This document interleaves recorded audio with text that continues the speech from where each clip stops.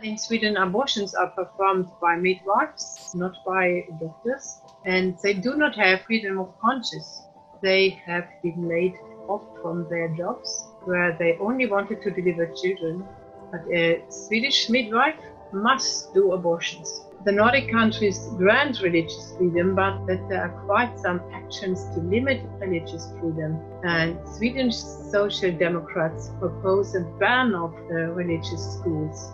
The Minister for Education says the cornerstone of Sweden should be equality between schools funded in science and proven experience, not religious dogma. So they say there should not be an imam or a priest as a teacher. And this is our battle right now.